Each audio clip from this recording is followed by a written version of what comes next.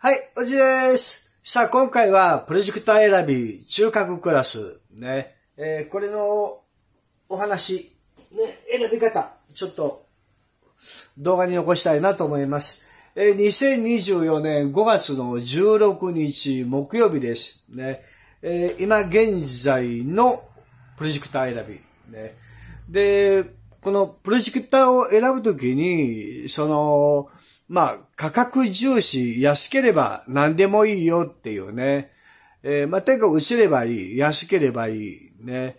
あの、もうどうでもいいっていう。で、アマゾンのランキングを見ると、売れてるのはこれなんです。ね。もう昔も今も。で、そこで、まあ、満足する人も多い。ね。で、痛い目にあって、あの、クラスアップする人も多い。ね。うん。まあでも、今の日本はどっちかっていうと、その、どのジャンルも全部同じなんだけど、あの、音楽でも何でもね、みんな同じなんだけど、使えりゃいいっていうね、こだわりを持つ人もたまにいるけども、もう全体的に全く関係ないっていうね。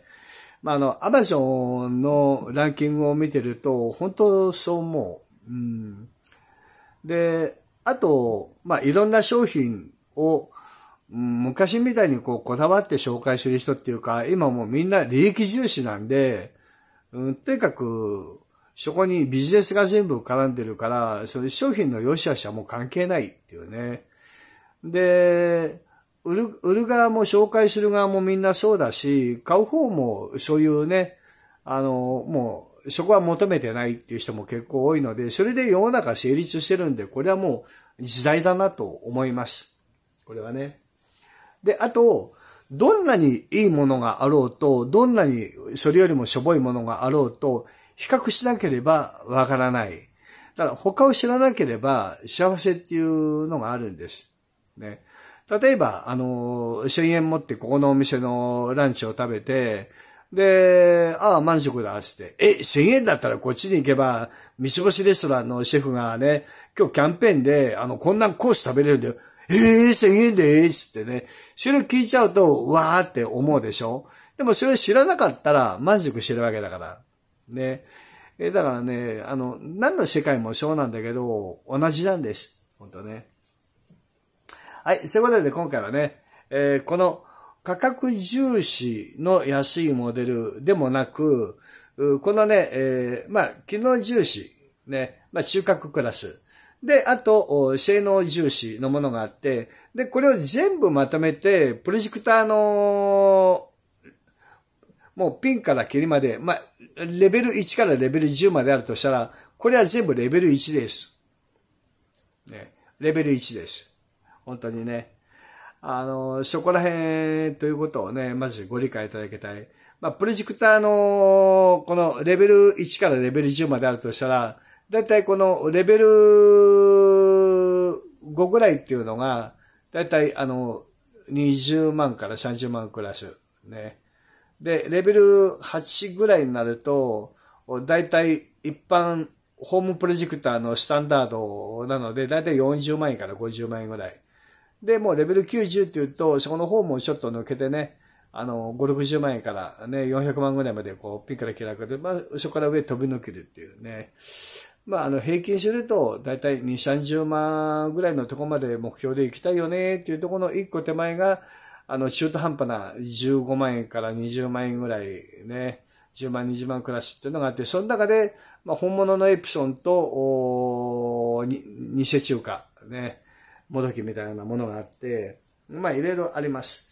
まあ、その中で、その、ここの中ってレベル1の中のね、やっぱ、うわさ、1枚のプロジェクターを3台使ってきたが、どれもこれもダメで、今回は清水の舞台から飛び降りなきゃいけなって、2倍の値段の2万円のプロジェクターを買ったが、まあまあだなっていうね、えーそういうレビューをまあ見かけて、ね、えーもう脳裏から離れない、ね。1万円クラスはここ。ね。まあ2万円クラスもこことここの中間ぐらいね。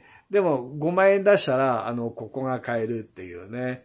まあそういう世界があります。で、あと、2024年の中核クラスっていうのは、2023年の、うん、まあ、だいたいここら辺まで、まあ、全体的にちょっとなんかね、うん、底上げの逆バージョンになってるようなね、そんな気がします。でね、えー、おじいのチャンネルで言うと、例えば、値段がよろしいものから言うと、つい先日紹介したヤーバーのプロジェクター、ね。えー、これは V12 です。で、えー、お値段の方は37,443円で購入することができます。で、この37,443円っていうのは、あの、まあ、ホームシネマの値段です。これね、ホームシネマの、まあちょっと上位バージョンになるのかなこれはね。あの、いわばで言ったら、プレミアムシネマってのがあって、K1、K2 がプレミアムなんで、あの、画質の鮮明さとか色具合がガラッと違う。ね。あの、そこにもう境界線があります。だから、いわばの公式ページを見ても、あの、カテゴリーがあって、あの、プレミアムシネマっていうのが上にあって、ホームシネマっていうのがあって、このホームシネマの最新バージョンが V12 ということになります。なので、おじがのオープンボックス、あの、箱開ける前から、あのね、この、その前に、おじいのとこにサンプルが来る前にね、追加されたの発見したって言った時に、まあこれあの、ホームシネマだからねっていうことでね、あまり大きな期待はまあしていなかったっていうね。まあ37,443円ね。で、プレミアムシネマはあの4万円なんで、4万円台なんで、こっからあともうちょっと数千円追加すればね、手が届くっていうね。えまあそこのレベルです。で、まあ特徴としては、あの、今から紹介するものはみんな横並び、あの、機能性のはみんな横並び。で、アンドロイドの、アンドロイドテレビのね、11が入ってます。11がね。で、回転台がついてるのが、回転台？ね。あの、角度調整付きの、ね、まあ、回転もするの？これ。回転しないよね。回転したんだ。え、回転しないよね。回、あの、こ、これ、これを回転というのかな？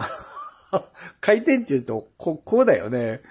こうは回転しないからね。あの、見て、あの、四角だからね、見てわかるように。ね。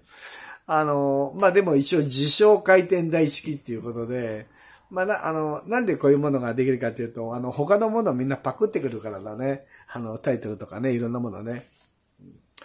で、まあ、台がついた。ね。で、あと、まあ、リモコンが、便利なリモコンがついてる。まあ、それぐらいかな。うん、800ワンシルーメンってなってるけども、うーん、公式ページは、あの、700ワンシルーメンだけか。ね。になってます。まあ、日本で売ってると800円シルメになります。で、まあ、ぶっちゃけ、おじいの目には、うーん、これ800円シルメなのって感じはするんだけどもね。うん、なんでそう思うのかっていうと、うん、やっぱ色味具合に、だと思います。ね。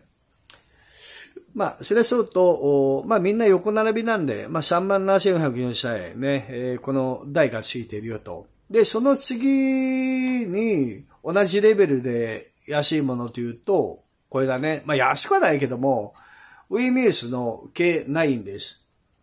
で、V12 とこの K9 はもう同じです。全くね。違いがない。全く同じ。初期型はあの、ドングルがついてたけど、あの、今全く同じです。だから、この、K9 に角度調整付きのこの台をつけたらプラス2000円。あとこのね、取ってね、あの、持ち、持ち運ぶときに取っ手があればいいのに、なんてね、あの、ヘンテコリなレビューも見たことあるけど、あの、それがちゃんとついたバージョン。ね。はい。まあ、プラス2000円でこれが買える。でも色は白だけだよ。ね。いわばあのー、中国の公式から買うとブラックバージョンです。U12 になります。いわばあの、直販モデルは U になります。型番がね。で、色違いなんで黒になります。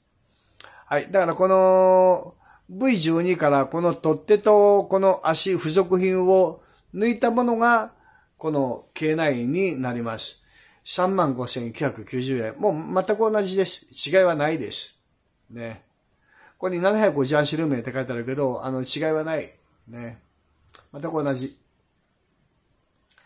そして、えー、まあその次に、お値段がね、えー、まあリーズナブルっていうと、おまあとある、ね、えおじいのチャンネルでも紹介してる、ね、まあショップを変えたり、販売ページ変えたり、ね、コロコロコロコロして、なんか汚いことばっかするから、もう、もう付き合いたくないよっていうね、まあそこのやつ、まあ、あの、オープンボックスの動画は残してあります。ね。で、これがあの、29,999円。で、安い時は、初期の売れなかった時は、確か2万3000円台ぐらいまで値段を落としてきました。ね。でも1個売れるとまたポンって戻したりとか。ね。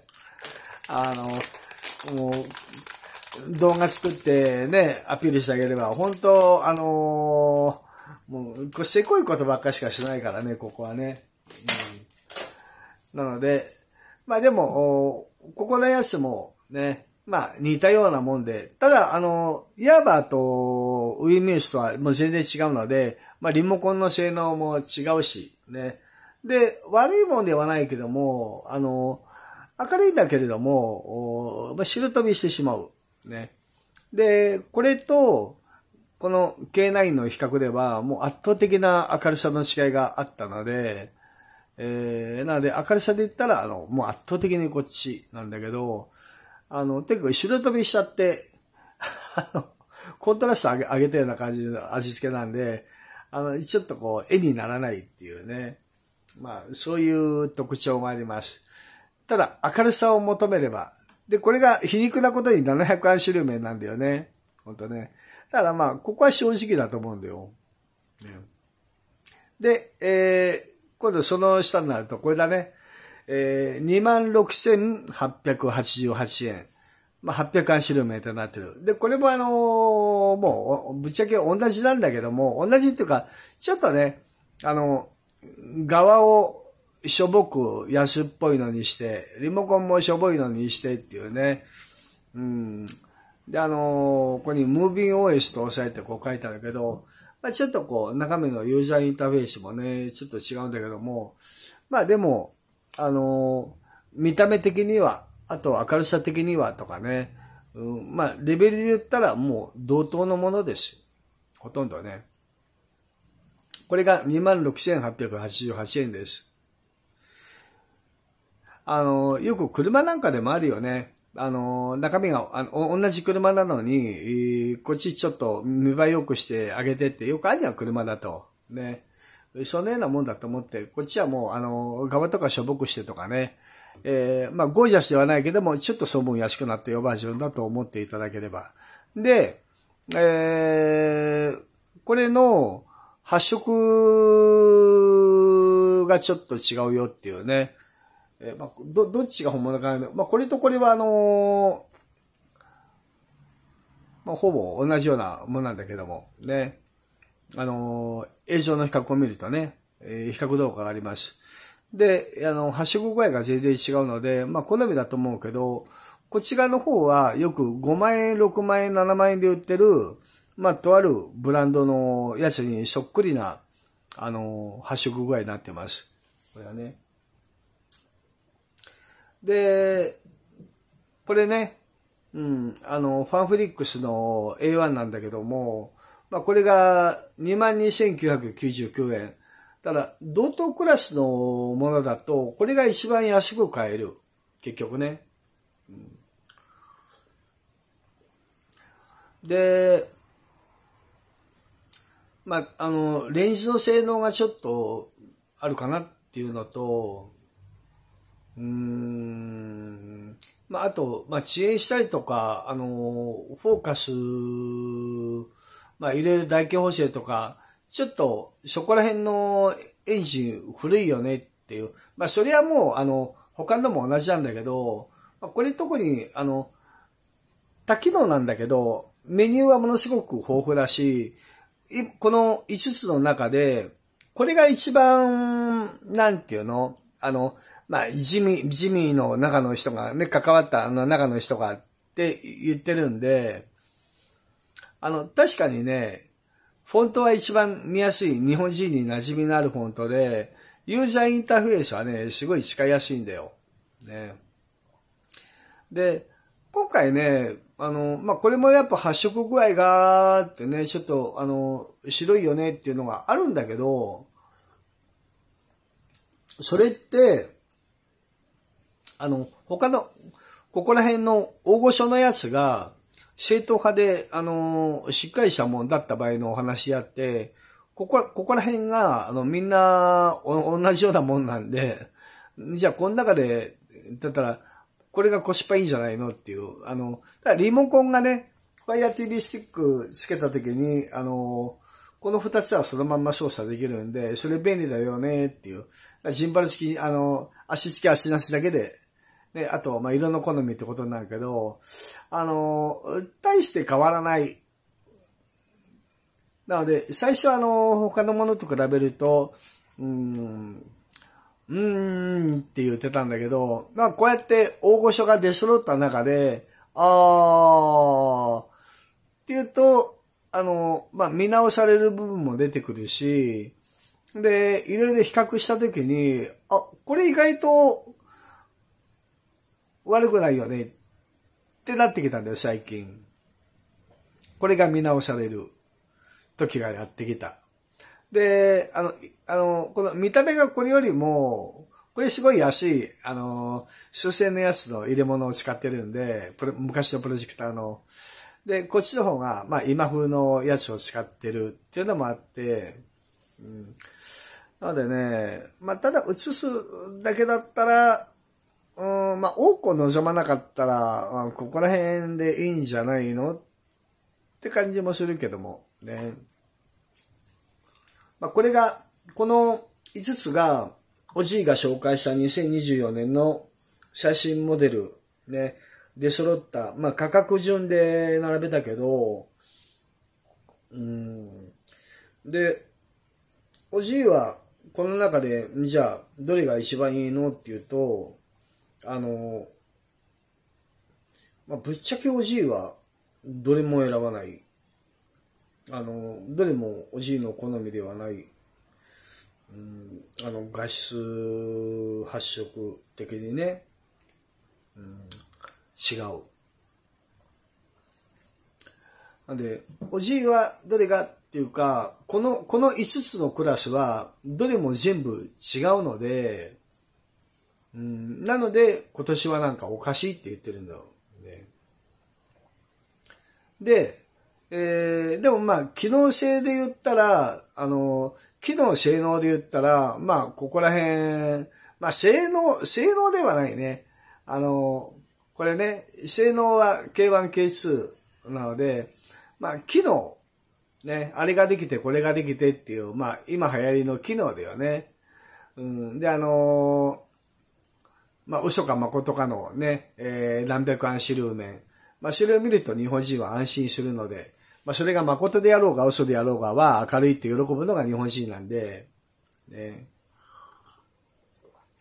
なので、あの、あんなに暗い K9 でもね、Y30 と比べてね、これはいいってなんかレビューもあったし、あの昔のクラスはもう暗いからね、ほんとね。まあ、それはいいとして、で、まあ、この5つです。これね。22,999円から37,443円まで。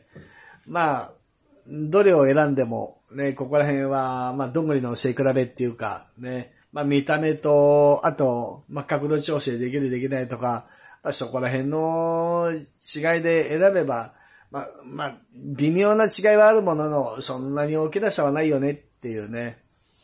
まあ、それぞれおじいのオープンボックスの動画があるので、それ見てもらえれば、ね、まあ、どれを買ってもっていうのがあると思います。だこのクラスだと37,443円から22,999円までね。まあ、うん、値段の差もあるので、ね。中身はそんな変わんないんだけど、まあ微妙には変わってくるけどね。クラス的には変わらないので、えー、まあ自由に選んでいただければと思います。まあ、このクラスって、まあぶっちゃけ去年のモデルで言ったら、あのー、P6、あ、でもな地方が上だよなおじい的にはな。うん、まあ、ない。ね。で、あと、その、これね、今これ言ったけど、ここまでのお値段で22,999円から、まあ上は37,443円まで。で、この性能重視っていうところに行くと、うん、まあおじいがガチで押すのはやっぱプレミアムシネマだね。本当に明るいし、で、本当ね、あの、まあ、ド、まあ、ド、ドットではないけども、つぶつぶ感というか、あの、フォーカス具合が違う。うん。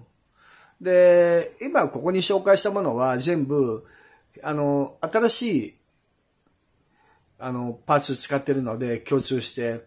なので、あと、まあ、連動性の、近くだと真ん中がぼんやりしたんだけど、フォーカスがあるところからだと全面的にフォーカスができる屈折率のエンジンを使ってや、あの、パーツを使ってやっている。これはあの、昨日、近くでフォーカスが合わないところに、あの、V12 置いて気がついたんで、ね、あの、新しい、えー、試みでチャレンジしてる。これどれもみんな同じだからね、これね。で、そこでは補いきれない、要は、あの、細かさと、綺麗さ。ああ、違うね。ああ、これはもう、ワンランク上だね。クラスが違うねって。これを手にした方が、誰もが口を揃えて言っている。今までは2万円前後ぐらいのプロジェクターを購入してきたかってね。そういうあのレビューも結構いっぱいあるので、もうこれはもうあの全然違うっていうね。えー、なんで、その全然違うものが45,519円ね。で、あのー、これのね、これ Y30 から購入したレビューでもあったけどもね、音はスカスカでーなんてね、音はスカスカでーってね。まあ35,999円出して、音がスカスカでーってこうね、あの、レビューで書いてあるよ。ね。だから、あのー、もう、もうちょっと頑張れば、音がスカスカでないものが買えるので、こ、ここ、ここ行かないとダメなんだよ。ここに行けば、とりあえず幸せ。ね。多機能でね。うん。なんでやっぱ、プレミアムシネマっていうだけのことはあってね。で、あと、あの、この、ヤーバーのこの K2S は、あの、他のところに同じスペックのやつを、あの、おろしてないので、ね、作ってないので、なので、あの、これ、これと肩をな並べるものが、同じものが存在していないんです。ないです。あの、ここら辺のやつは、ね、あの、これが、これだったりとか、ね、同じものがあの、他にも存在するんだけど、これはあの、この辺のクラスはウィミューシからは出てこない。ヤーバーは、あの、ちゃんと本物思考、よりで作る。ね。お金かかるけども、処置系を作る。で、ウィミューシはコスパ重視で、あの、とにかく安く、あの、あの、スペックをよく、ね、安く、コスパ重視で作るっていう分けてるんで、なので、あの、ここら辺のやつってみんな横並びで同じようなものがあるけども、これと同じ類似品は存在しないっていうこと。だからもう、これを手にすれば、もう独占して、あの、他のものでビクビクすることがない。あ、今度出たのどうなんだろう。これと比べたらどうなのかな。うん、もうちょっと安く同じようなの出てきちゃうのかなとかね。あの、そういう心配はない。おじいはこれ、もう前々から言ってるじゃん。これ買っといて、あの、いいもの先に、ヤバの、これ、あの、プレミアムを買っていけば、一年、一年後に、ね、これと同じものが安いものが出てくるかっていうと、出てこないよ。ね。あの、もうビクビクビクビク、これ、これ、これよりこれいうものが出てくるかな？とかね。あの、これより超えるものが出てくるとしたら、いわばが出してくる。ね。だそういうビクビクしないで、ずっと、でーんと構えて、ね、あの、その、トップを走るガスを堪能できる。ね、そこが約束されるわけです。45,570件。そしてあの JBL のね、ワッペンまでくっついて、ね、あの、とてもいいサラウンドで、ね、ドルビーを楽しめるわけです。ここのレビューに、ね、Y30 彼女もね、あの、あ、他の人も書いてあったよ。もしかし、あの、音がね、あの、ブリムが出る。いや、ビビっちゃんで出ないからね。ここら辺は結構な音出るんで、すげえ迫力で出るんで、ああの、本当ね、ケチをつけるんだったら、あの本当お金を出せば。で、他のものは、どうせプロジェクターの音はしょぼいからね、あれにしてあげる、これにしてあげるって言うけど、まあ、アンプリ次第で、ね、5.1ちゃん、7.1ちゃんで、みたいな、それが一番いいんだけども、でも、あのー、付属のスピーカーの音がしょぼいから、あの、ウェイレスのスピーカーとか、あの、賢い人は優先でね、してあげるけど、じゃあそれを用意して使うお金があるんだったら、これを買っとけば、とりあえずあの、いい音が聞ける、保証されてるんで、同じ環境を整えるんだったらこれ買っといた方が早いじゃんっていうね。そういうことになるんだよ。ね。これがあの45,579円でね、えー、おじクーポン使うと購入することができます。おじクーポンがないと48,999円だからね。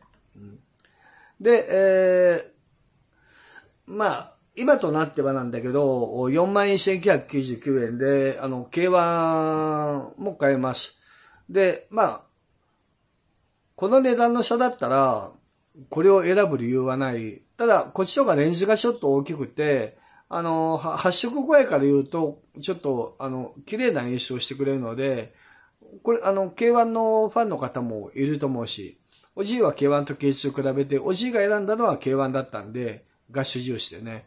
ただ、こっちの方がうるさい。ファンの音もうるさい。ね。で、あの、アプリも入ってない。まあ、いらないよっていう人も、まあ、いるだろうけど、で、音の大きさは出るけども、音質は K2S の方がもう全然グレードが違うし、ね。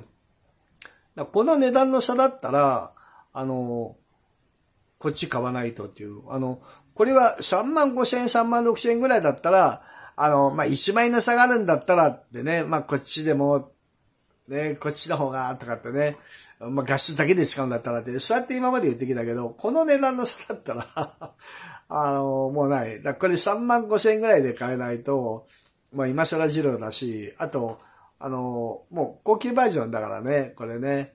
うん、あの、4K、4K の入力、確か、パイア TV スティックつけても対応してないモデルだし、ね。あとメルカリなんかだとあの、別バージョン、ね。あの、騙し売りみたいなあるから、まあ、気をつけないとね。うん、で、えー、これが、まあ、ワンランク上のやつなんだけど、まあ、おじい的にはもう今これではなくて、こっちです。おすすめするのはね。どうして買うならこっち買った方が手っ取り早いよ。ね。えー、わしは1枚を3台買ったが、清水部でいけるおいて、なんてね。で、2枚出しても得られる満足は2万円なんだよ。合計5万円出したとしても、得られる満足は2万円台なんだよ。ね。そういう残念な人生を選ぶか、それとも最初から45,579円払えば、もう、あの、満足が手に入るんです。ね、で、あと、そんなお金出せないっていう人はね、あの、こういうのもあります。いわばだったら、K1 と同じ、ね、色味具合。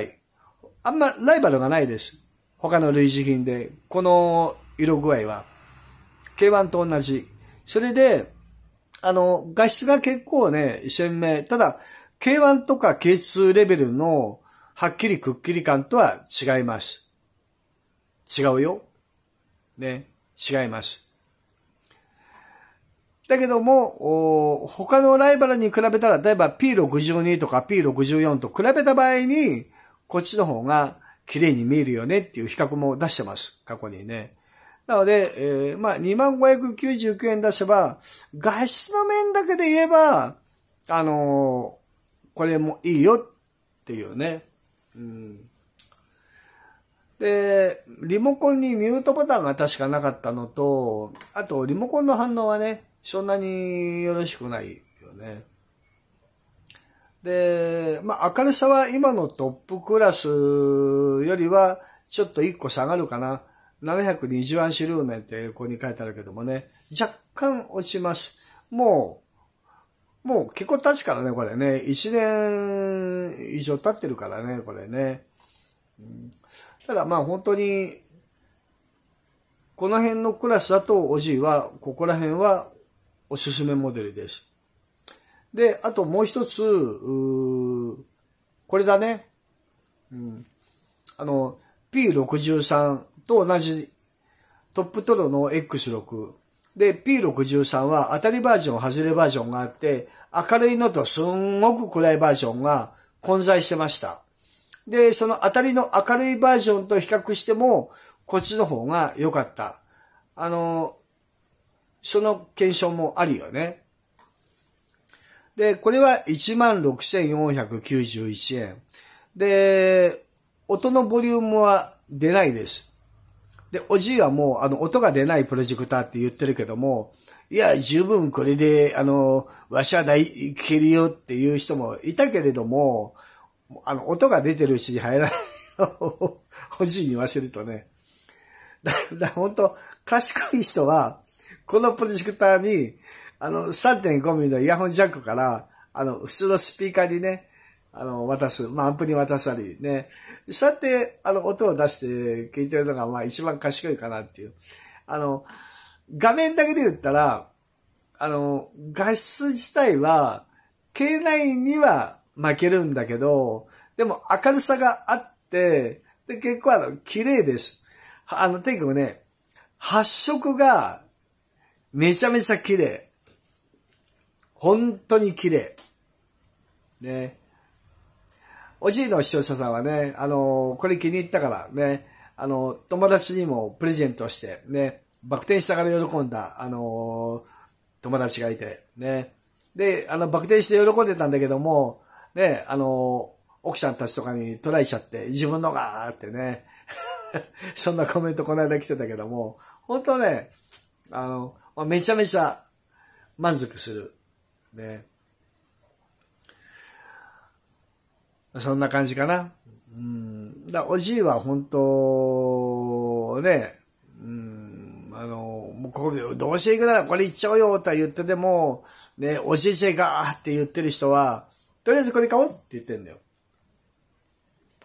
で、でも、こうやって動画を作ってて、あの、なんか、虚しくなるバカバカしいなと思うのは、この Amazon のね、ホームプロジェクターの売れ筋ランキングっていうのがあって、実際に売れてるのが9999円のこういうのとかね。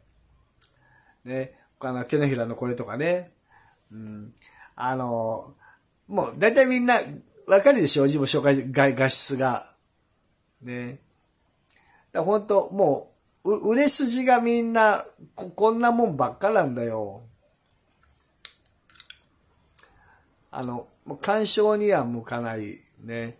で、ここのところに、あの、この普通の大きさのやつがあってね、これをあの、おじいが今日動画でちょろって言ってたんだけど、これね、14,491円。ね。で、これパッと見て良さげかもしんないけど、あのー、ボタンが上についてんだね。これね、で、これね。で、まあまあ、あの、悪くはないけど、でもこれ、あの、古いよね、ちょっとね。うん。トップトルの X6 だったら、ね、あのアンドロイドでいろいろついてるけども、まあ悪くはないけども、結構細かくメニューは使いやすいけども、あのふ、古い 古いでしょ？ね。これね。まあ、まあ箱も安っぽいのだけども、リモコンも安っぽいのだけど、ね。で、こうやって見るとさ、あの、綺麗じゃないじゃん。これ見ると。ね。画質も明るさも良くてて、鮮明でって書いてあるけど、ね。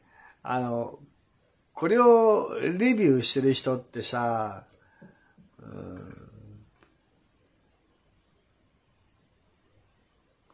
こんな字幕で見てんの、うん、だ本当ね、あのー、そんなにね、綺麗な映像に見えないんだよ。あの、P63 の明るい暗い対決のダメバージョンの色に見えるんで、これ、ほんとね、綺麗じゃないよ、これ。うん。ねえ。こう、あの、薄薄いよね。色味がね。うん、こういう、今ね、こういうところの本体のこういうところにね、ボタンついてるバージョン、ね、もう今時ないよ。ね。レンズはちっちゃい。ね。うん、この画面はでも、あの、この一世代前の、ね、まあ、今まであったような、の中では、あの、いわばウィンにしてもね、あの、V7 とか、あの、ね、X なんていうか、まあ大体こういう画面だった一世代前はね。だから本当、まあ一世代前のやつで、まあこれぐらいの値段で、まあ多分、あの、580両面前後ぐらいのね、あの頃の中身だと思うけど、まあ暗いところで見る分にはまあまあかな、みたいなね。でも、これを、これをこの値段で買うんだったら、トップトルの X6 買った方が絶対幸せだと思うんだけど、誰かトップトルの X6 が上位に来てないんだよ。こんなものの方が上に来てるんだよ。おかしいでしょ本当ほんで、こんなさ、9位にさ、ね、やっぱあの、家電で情弱が買うんでしょあの人がで、ね、あの、6万9000円この、アンカー、ネブラ。まあ、あんまりあの、ね、うん、あの、あれだけどもさ、200アンシルーメンだよ、200アンシルーメン。ね。200アンシルーメンのさ、こんなの、7万出して買う？ね。だいかに200、200足ルーメンなんてさ、もう見えないぜ、本当 この間あの、四角い100足ルーメンね、あの、テーブルの上にポンって置くね、あの、オフシェットの違いとか、この間動画で見したけど、あれ相当ぐらいだね。な、な、本当にね、ブランドとか家電品とかこう、あの、いろんな人がやっぱ、トトップ YouTuber とかね、いっぱいお金もらってこういうのを CM 作るじゃん。そういうのに、やっぱ乗っかっちゃうんだろうね、きっとね。うん。で、ここでがみんなあの、ね、ミジンコみたいな、プロジェクターでしょ？ね。で、またこの変なね、2002年先行発売、新生代投影技術なんてね、おいおいおいおい、もう、この二世代前のこの、あの、バッ、バッタンバッタンにやりつけ、うわぁ もう、今時まだこういうのが存在していたの？みたいなね。あのー、おいおいおいおいおいおいって思わない？ね。これは、あの、おじいが前紹介したね、これね。これ、えー、っと、これ X5 だけがこれって違ったっけか？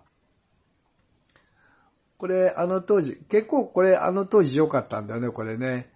もう、それからあのバッタンバッタンにね、フォーカスも上についてるから、もう今となったけど、これ確か X5 って名前じゃなかったかな。X3 のジョイモデルだよね。あ、違う、G、GDP1W だって。あ、これ違うのか。あのー、あれか。トップトルじゃないね、これね。うん。これは違うモデルか。あ、そうそうそう。あのー、そう。ブランドの名前は違うけど、全く同じ形であったんだよね。そうそう、思い出した。あのー、そうなんです。全く同じのがあったんだよね。で、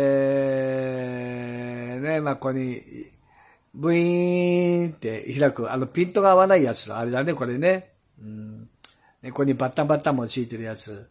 まともなやつがさ、上にないじゃん。こんな、この24新旧版、ここんな、あの、日本人馬鹿にしてるのかっていうぐらい、こんなね。で、ここにアラジンがやってくる。ね。で、やっとここで、あの、来るのが、エプソンなんだけど、39,540円の、あの、XGA だよ。何に使うの？こんなの、今時。ね。ホームプロジェクターで使わないでしょう。ね、で、まあこのエトエのね、3万円が出てきたけど、これはもう旧モデルだよね。うん。これをジム紹介したバージョンだっけか、これね。これ違ったかな？五感シルメン。ね。あのー、あ、違う。これはシールだからおじい紹介しないわ。ね。あの、この一個前のやつを紹介したんだね。うん。で、シールプロ、あの、送れねえっつって騙されたんだよね。うん。だから、あの、絵と絵大嫌い。で、あの、このね、ジンベオとかあるよね。うん。こ、ここのやつフォーカス合わねえからな、ほんと。ね。みんな、これ全部あの、こ、ここでみ、みんな中身も同じ、側が違うだけだからね。これもみんな側が違うだけ。ね、みんな同じ。で、ここでやっとなんか、ここにウィメイスの P63 と、これ、これトップ取るか？これもしかして。ね、32と33位だよ。やっとここに、あのー、ちゃんとした明るさと発色のコスパ重視モデルがやっとここに来たのに、ねえ。で、これまた変なのが、ね、このバッタンバッタンのまた、こういう、ね、こういう、あ、これちっちゃい、あの、これはあの、平気だ、おじのとこにもあるね。こういうおもちゃがさ、上位を占めている。ね。この現状を見ると、プロジェクターの紹介のしがない。で、あの、ウィミースの K9 がね、44位に、ここに入ってきた。ね、1月に発売して、やっと今44位。ね。で、あの、単焦点で近くで使える 720p、P61。ね。うん。で、これもビジネスプロジェクター5万1000円。ね。まあ、あとみんな中身が同じこのちっちゃいシリーズ。ね。これがトップ50です。ね。で、51位から見ると、ね、だみんなこんなのしか日本人買わねえってことじゃん、結局。で、またこれね、あの変変なのが来て、で、エプソンがここにやっとここに12万9900円のね、まともなのが来て、ここにジミーね、ジミーのモゴ2、720p で6万円だよ。ね。なぜ6万円出して 720p 買うんだ？ね。うんまあ、これはファンロジーさんだからね。あの、ホームシアターさんのやつの安いのなんだけど、あまあ何も言わないよ。ね。これは、シネマなんとかっていうのは、これは、あれかな？あの、DLP でしょ、多分。これはあの、解像度低いけど明るいでしょ、多分ね。あと、まともなのがないねうんと、ここ、これがちょっと気になるけどね。うん、で、ここにほら、あの、ファンフリックスと A1 が出てきたよ。ね、A1 が。ねちょっと A1 持ち上げてあげようかな本当あの、最初の頃はいろいろ比べると、ええー、って思ったけど、値段が2万2000円台、2万3000円になってるし、約ね。この値段だったら、本当もうウィミーシヤバンが出揃って、あの、どこにのして比べだったから、値段が一番安いからね、ちょっと動画作ってあげようかな。